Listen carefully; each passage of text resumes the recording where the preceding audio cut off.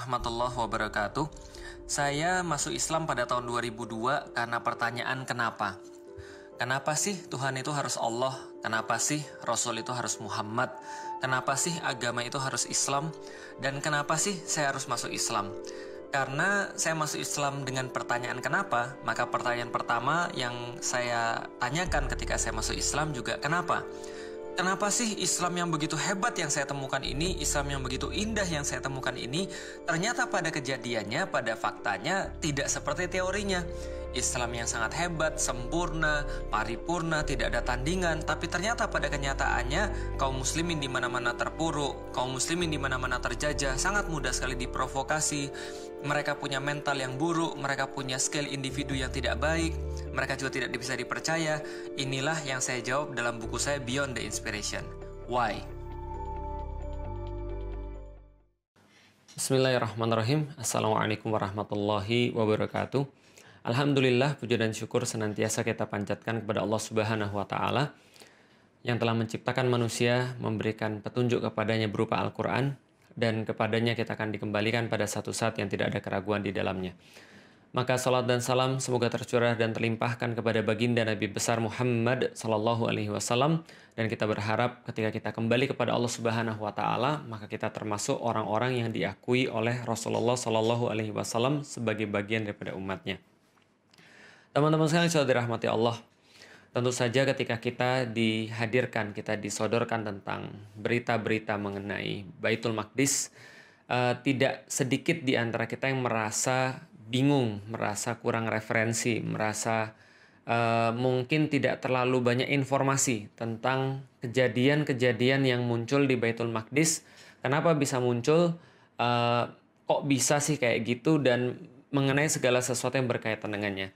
Nah, karena itulah teman-teman sekalian saya pikir uh, baik kiranya kalau saya memberikan sebuah uh, sharing tentang apa yang saya ketahui tentang Baitul Maqdis.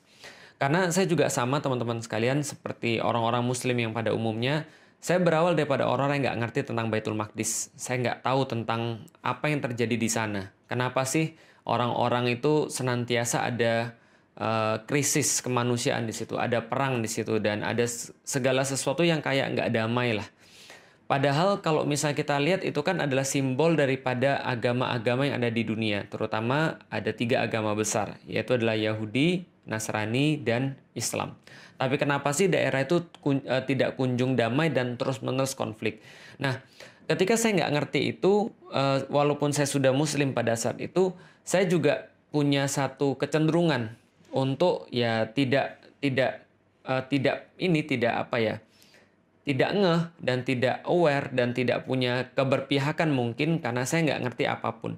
Karena itulah saya coba untuk mencari tahu tentang apa sih yang sebenarnya terjadi di Palestina, apa yang terjadi di Baitul Maqdis, dan termasuk kita akan coba menyampaikan juga term apa sih yang paling tepat untuk membicarakan masalah yang ada di sana.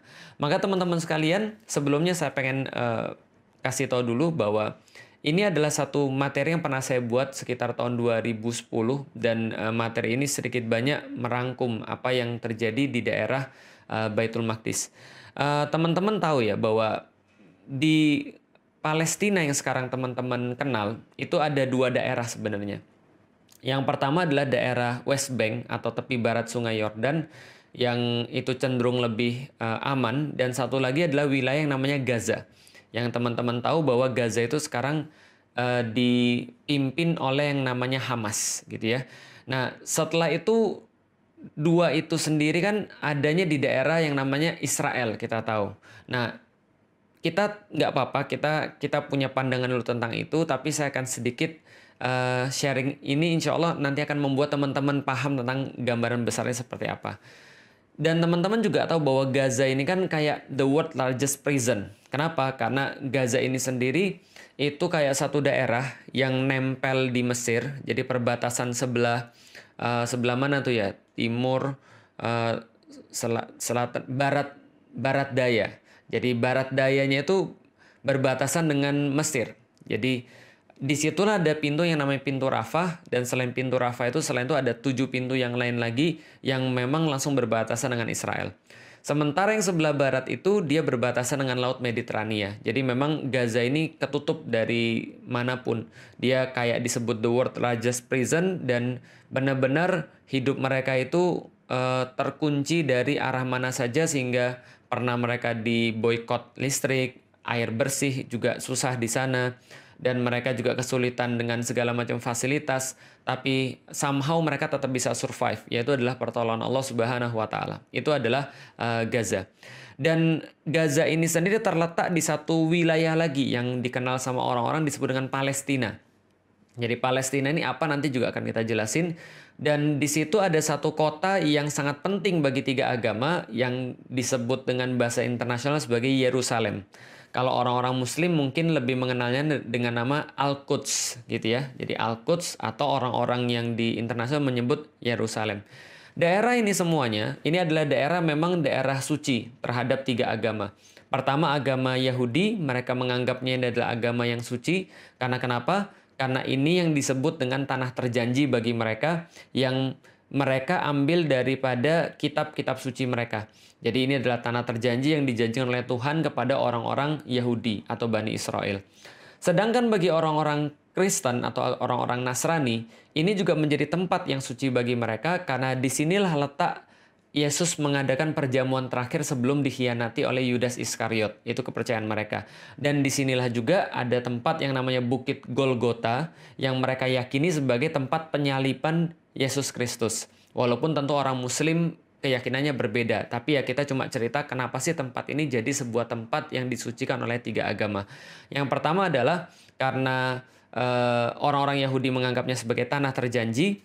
Yang kedua, orang-orang Kristen atau orang-orang Nasrani menganggap ini adalah sebagai tempat yang merupakan uh, tempat terakhir perjanjian Yesus, uh, sorry bukan perjanjian, perjamuan terakhir Yesus, lalu juga tempat disalibnya Yesus Kristus. Sedangkan bagi orang Muslim kita sudah tahu bahwa tempat ini menjadi kiblat pertama kaum Muslim, yaitu adalah uh, Masjidil Aqsa itu sendiri. Maka di dalam Al-Quran Allah uh, mengabadikan semuanya ini uh, betapa penting kaum Muslim ini terhadap uh, daerah yang kita sebut tadi dengan sebuah ayat yang disampaikan oleh Allah dalam surat Al-Isra. Subhanalladzi asra bi abdihi lailam minal masjidil haram ilal masjidil aqsal ladzi barakna haulahu. Jadi Maha suci Allah yang telah memperjalankan hambanya pada malam hari di e, dari Masjidil Haram kepada Masjidil Aqsa yang telah diberkahi e, sekelilingnya. Dan Rasulullah sendiri berpesan kepada kaum muslimin, kalau kalian itu jangan bersusah-susah untuk pergi kecuali ke tiga tempat, yaitu adalah Masjidil Haram, Masjid Nabawi, dan Masjidil Aqsa. Dan dalam banyak hadis-hadis yang lainnya, Rasulullah Shallallahu Alaihi Wasallam senantiasa menggarisbawahi pentingnya, indahnya, bagusnya, berartinya Masjidil Aqsa bagi kaum muslimin. Maka ini adalah menjadi sebuah tempat yang sangat penting bagi tiga agama di dunia. Khususnya di satu kompleks yang namanya Kompleks Masjidil Aqsa atau Haikal Sulaiman dalam pandangan orang-orang uh, Yahudi. Jadi gini ceritanya teman-teman sekalian. Nah, ini tentang term ya, tentang sebuah istilah. Kalau kita biasa menyebut Masjidil Aqsa itu adalah berdasarkan Al-Qur'an, subhanalladzi asra bi abdihi lailam minal masjidil haram ilal masjidil aqsa. Jadi maha suci Allah yang telah memperjalankan hambanya di malam hari dari Masjidil Haram kepada Masjidil Aqsa. Maka Masjidil Aqsa itu adalah satu tempat yang dinamakan Kompleks Al-Aqsa. Jadi Kompleks Masjidil Aqsa. Kenapa dikatakan kompleks? Karena memang pada saat itu bentuknya bukan kayak sekarang. Jadi bentuknya cuma sebidang tanah dan sebidang tanah itu disebut dengan Masjidil Aqsa. Dan memang ya salahnya orang Indonesia adalah karena mereka tuh kalau bicara tentang masjid itu harus kayak ada bangunannya, harus ada kubahnya, harus ada bintang dan bulannya. Enggak sih sebenarnya. Ciri-ciri masjid atau syarat-syarat masjid itu sebenarnya cuma tiga. Pertama adalah dia punya uh, dia punya tempat, jadi satu tempat tertentu. Yang kedua adalah dia punya batas, gitu ya. Jadi batas-batas yang dikatakan masjid, sehingga kalau orang berada di dalamnya berarti berlakulah hukum-hukum masjid. Yang ketiga adalah dia punya kiblat, itu aja sih. Maka sebidang tanah itulah yang disebut dengan Masjidil Aqsa. Bukan seperti yang uh, salah duga oleh beberapa orang-orang pada zaman sekarang. Oh, Masjidil Aqsa itu itu ya Ustaz ya, yang ada uh, kubah emasnya. Bukan, itu kubah as atau kubah batu. Karena Umar bin Khattab ketika pergi ke sana, dia melihat ada satu tempat dan ada batu di sana dan dia berkata inilah tempat Rasulullah Shallallahu Alaihi Wasallam mi'raj ke Sidratul Muntaha. Maka dibuatkan uh, kubah di situ maka dinamakan kubah yang melindungi batu atau kubah yang di bawahnya ada batu. Itu kubah sokhro yang berwarna emas. Sedangkan ada tempat lagi yang uh, di depannya kubah sokhro. Itu ada satu masjid yang kubahnya warnanya abu-abu gitu ya. Itu juga bukan Masjidil Aqsa tapi masjid tapi namanya adalah Masjid Kibli atau Masjid Kiblat.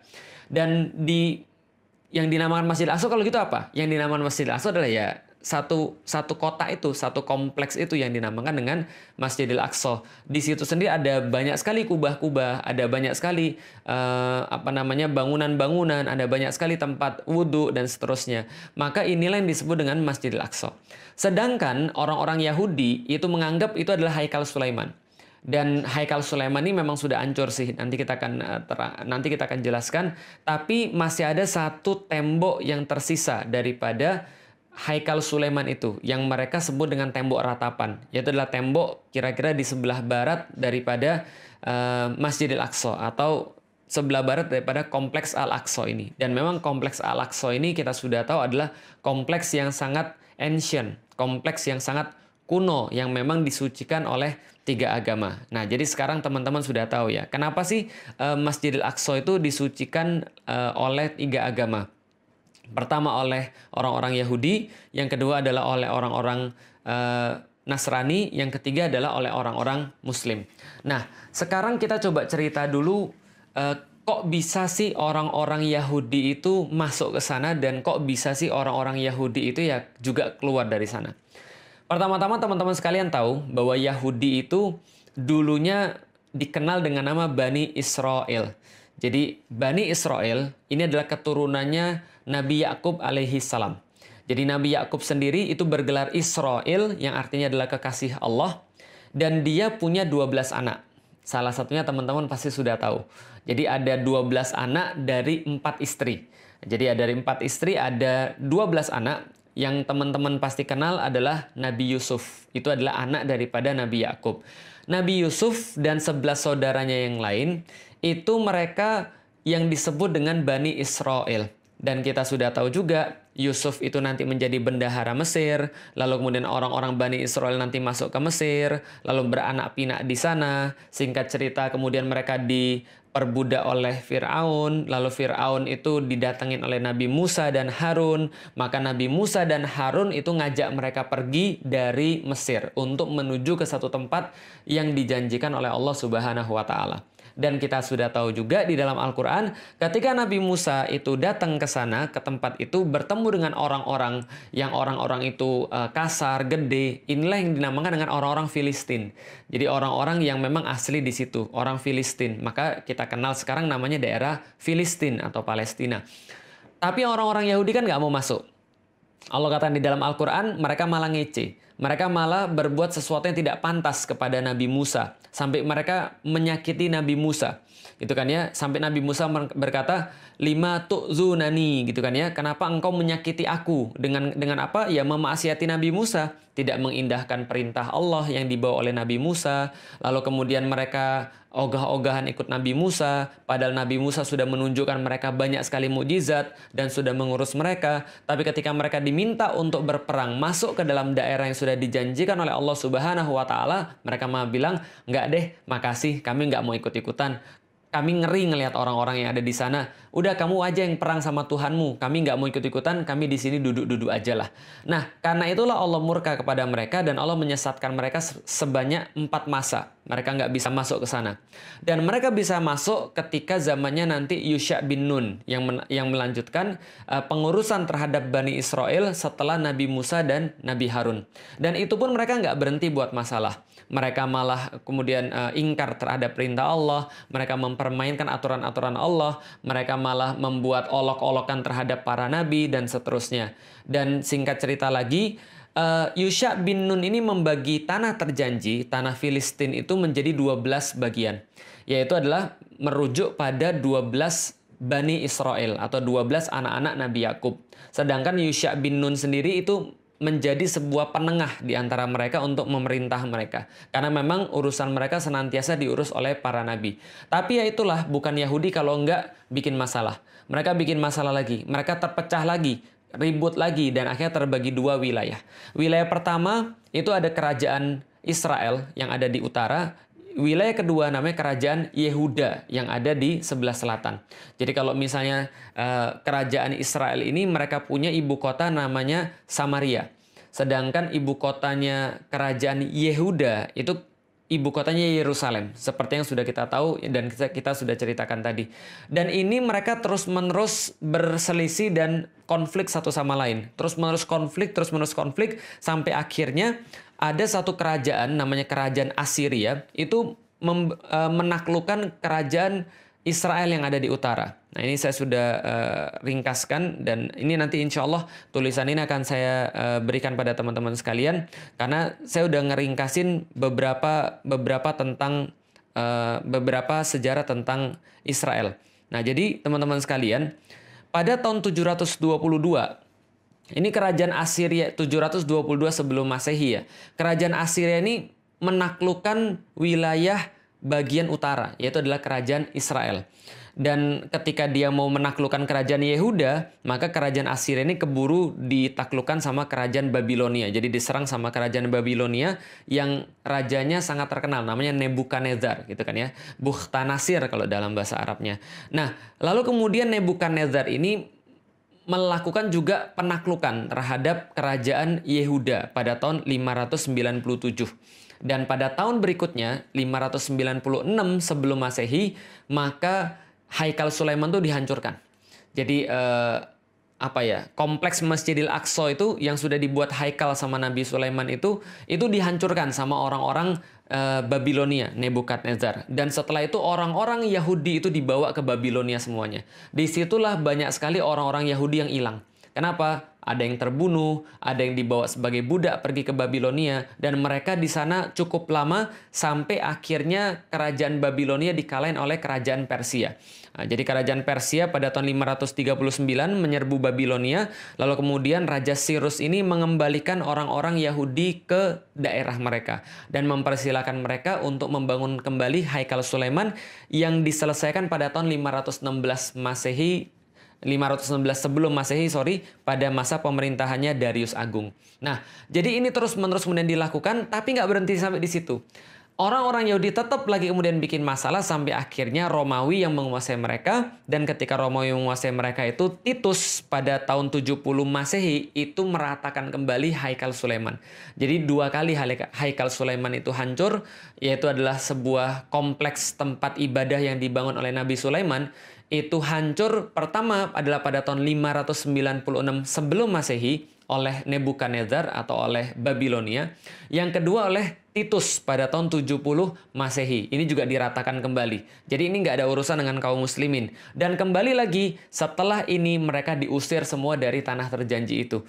Karena mereka itu uh, bikin selalu masalah, membuat membuat situasi jadi nggak bagus uh, dan senantiasa melakukan pemberontakan-pemberontakan, maka orang-orang Romawi ngusir seluruh orang-orang Yahudi dari tanah terjanji mereka itu. Itulah kedua kalinya mereka diusir. Pertama kalinya mereka dijadiin budak ke Babilonia, yang kedua mereka diusir dari uh, tanah terjanji oleh orang-orang Romawi. Jadi nggak ada urusan dengan orang-orang Muslim. Dan pengusiran kedua inilah teman-teman sekalian yang dikenal dengan nama diaspora. Jadi mereka pergi melanglang buana ke mana pun e, ke daerah-daerah yang lain gitu kan ya, sampai mereka punya dendam yang besar terhadap orang-orang Romawi ini. Kenapa? Yang sudah mengusir mereka dari tanah terjanji. Terus menerus ini kemudian mereka menjalani kehidupan yang sulit dan orang Yahudi ini karena punya sifat yang nggak baik. Mereka punya sifat serakah, mereka punya sifat suka uh, ingkar janji, mereka punya sifat pengecut, mereka suka mengolok-olok orang, mereka suka melakukan hal-hal yang nggak bagus gitu ya, maka mereka ini ke mana-mana dapat masalah. Di Jerman dapat masalah, di Austria dapat masalah, lalu kemudian di Eropa tempat-tempat yang lain mereka dapat masalah. Di mana pun mereka tinggal, orang-orang Yahudi ini memang senantiasa eksklusif dan menimbulkan problem. Karena itulah kebanyakan di mana pun itu mereka senantiasa punya problem dengan masyarakat setempat. Nanti list-listnya itu teman-teman bisa cari. List-list problem terhadap orang-orang Yahudi. Makanya sampai dikenal dengan nama gerakan antisemit atau gerakan anti-Yahudi, kira-kira gitu ya. Nah, hanya saja ketika pada tahun 1860 ini lahir seorang pemuda yang orang ini nanti akan menjadi bapak Zionis, namanya Theodor Herzl. Dia seorang Yahudi berkebangsaan Austria. Lalu pada tahun 19 1896, jadi lahirnya 1860, sorry, 1860 lahir, 1896 ketika dia berumur 36 tahun, itu dia menulis satu buku yang sangat fenomenal pada zamannya. Namanya bukunya Der Judenstaat, yaitu adalah The Jewish State. Nah, jadi Der Judenstaat, The Jewish State. Dan di situ dia menegaskan kembali bahwa perlu banget bagi orang-orang Yahudi supaya tidak mendapatkan problem di mana-mana, maka mereka harus bersatu dan sudah wajib bagi mereka untuk memiliki sebuah negara. Makanya judulnya Der Judenstaat, The Jewish State. Dan ketika itu orang-orang bilang, wah ini orang gila, ini orang stres, ini berbahaya. Kenapa? Di zaman itu teman-teman sekalian, orang Yahudi aja di mana-mana nggak disukai oleh orang. Apalagi ada ide mereka mau buat satu negara. Nah, itu orang udah kebayang tuh problemnya kayak apa. Maka ini kemudian dibully, lalu kemudian dilarang peredaran buku ini. Nggak boleh dibaca, nggak boleh diperjualbelikan. Kenapa? Karena mengandung ide yang sangat absurd bagi orang-orang pada zamannya. Tapi dia nggak berhenti. Dia melakukan kontak terus-menerus, kontak terus-menerus. Dan akhirnya dia dapat kontak namanya Lord Rothschild. Jadi ada satu keluarga sangat kaya sekali yang merupakan uh, pionir daripada sistem perbankan. Namanya adalah keluarga Rothschild. Dan waktu itu uh, Theodor Herzl ini dapat sponsor daripada Rothschild. Lalu dia pada tahun berikutnya pada tahun uh, 1837 ini mengadakan mengadakan sorry 18 uh, tadi kan 1860 ya 1897 jadi setahun setelah bukunya keluar, bukunya keluar 1896, lalu pada tahun, uh, tahun 1897 maka diadakanlah sebuah kongres Zionis pertama di dunia. Apa yang mereka kemudian simpulkan di sana? Kami harus bangun satu negeri untuk orang-orang Yahudi, untuk mewujudkan cita-cita orang-orang zaman dulu bahwa negara Yahudi harus bersatu dan punya satu tempat. Pertanyaannya teman-teman sekalian, kalau ada orang-orang kayak gini yang memang di mana-mana uh, bikin masalah, di mana-mana dibenci sama orang, lalu mereka punya ide dari Judenstadt, gimana kalau kita buat satu satu negara buat orang Yahudi, the Jewish state. Kalau gitu pertama kali mereka harus cari tanah dong. Mereka harus cari tempat dong. Pertanyaannya tempatnya di mana? Jawaban teman-teman betul kalau ada orang Yahudi yang mau nyari tempat untuk dijadikan sebuah negara, karena mereka pikir bahwa negara itu adalah sesuatu yang harus mereka punya untuk mewujudkan cita-cita mereka di masa yang lalu, maka pastilah mereka akan cari tanah yang berhubungan dengan sejarah mereka. Maka mereka fix. Ketika Kongres Zionis itu, mereka mengatakan, "Kami mau punya tanah." Yaitu adalah tanah yang dijanjikan oleh Tuhan bagi kami. Ironis memang, mereka disuruh masuk, mereka nggak mau. Mereka sudah masuk, mereka bikin masalah, diusir sekali oleh kerajaan Babilonia di bawah Nebukadnezar, lalu mereka mereka balik lagi, buat lagi Haikal Sulaiman, diancurin lagi yang kedua oleh Titus Romawi gara-gara kelakuan mereka juga, lalu lalu kemudian diusir ke mana-mana dan mereka nggak bisa balik lagi ke sana untuk uh, untuk melakukan ibadah sesuai dengan keyakinan mereka, tapi ketika mereka disuruh milih, mereka milih tempat itu lagi. Karena kenapa? Ya, karena mereka merasa itu kaitan dengan sejarah mereka. Padahal mereka sudah mengabaikan tempat itu in the first place untuk pertama uh, di awal kalinya, gitu kan ya. Nah ini mereka kemudian mau balik lagi ke tanah terjanji. Mereka bilang balik ke tanah Zion, balik ke tanah terjanji mereka, yaitu adalah tanah yang disebut dengan tanah Palestina. Pertanyaannya, siapa penguasa tanah Palestina pada saat itu? Siapa penguasa tanah Baitul Maqdis pada saat itu? By the way, teman-teman sekalian, tadi kita sudah sampaikan soalan istilah. Masjidil Aqsa itu disebut dengan Baitul Maqdis sendiri. Jadi Masjidil Aqsa yang kota itu itu adalah Baitul Maqdis sendiri ketika dikatakan uh, oleh Rasulullah Shallallahu Alaihi Wasallam. Kompleks Masjidil Aqsa itu dalam istilah Rasulullah, dalam istilah hadis adalah Baitul Maqdis. Kota Yerusalem sendiri dalam istilah hadis juga disebut dengan Baitul Maqdis. Dan tanah yang yang terjanji itu atau ardul mubarakah atau atau atau ardul muqaddas atau ardul muqaddasah itu adalah juga disebut dengan Baitul Maqdis. Jadi Baitul Maqdis itu ada tiga, ada tiga istilah. Pertama adalah istilah untuk kompleks masjidnya. Yang kedua adalah istilah untuk kota Yerusalemnya. Yang ketiga adalah untuk wilayah yang lebih besar yang dinamakan dengan uh, bumi yang diberkahi atau bumi yang disucikan itu. Nah maka ini yang mereka pengen untuk mereka masuk ke sana. Siapa yang saat itu memiliki uh, Baitul Maqdis atau tanah yang terjanji yang menurut orang Yahudi pengen mereka jadikan sebagai the Jewish state itu yang memiliki adalah orang muslim yang pada saat itu bersatu dalam satu kepemimpinan besar yang dinamakan dengan Khilafah Utsmani. Nah, pemimpin Khilafah Utsmani pada saat itu namanya adalah Abdul Hamid II. Maka datanglah orang-orang Zionis kepada Abdul Hamid II untuk meminta izin mereka ingin mendirikan pemukiman untuk orang-orang Yahudi yang akan jadi cikal bakal negara Yahudi. Bagaimana kemudian respon daripada Abdul Hamid? Insya Allah nanti akan kita lanjutkan ceritanya. Assalamualaikum warahmatullahi wabarakatuh Teman-teman sekalian Pernah nggak sih kebayang ketika dulu masih ada Imperium Romawi dan Imperium Persia Waktu itu Imperium Romawi terbentang kurang lebih 5 juta kilometer persegi di sebelah barat dan Imperium Persia terbentang kurang lebih 7,4 juta kilometer persegi di sebelah timur. Nah pada saat itu ada suatu peradaban baru yang muncul di tengah-tengah raksasa-raksasa itu namanya peradaban Islam. Ternyata kurang dari 100 tahun Islam bisa mengalahkan peradaban Persia yang sudah dibangun selama ribuan tahun dan peradaban Romawi yang sudah dibangun uh, 500-an tahun. Pertanyaannya, apa yang menginspirasi mereka? Apa yang menjadi uh, dorongan-dorongan mereka? Dan sekarang kita lihat justru Islam terpuruk dan tidak seperti uh, pada dahulu kalau kita lihat dalam sejarah.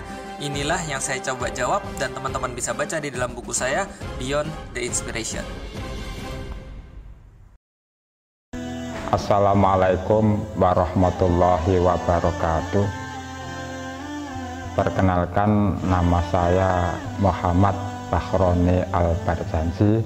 Di sini saya sebagai pengurus Musola Nurul Ulum yang ada di Kalisari RT 13. Di sini saya dan jamaah semua musola mengucapkan beribu-ribu terima kasih dan mengucapkan banyak terima kasih kepada Yayasan Wakaf Quran Suara Hidayatullah yang telah memberikan wakafnya yang berupa Al-Quran.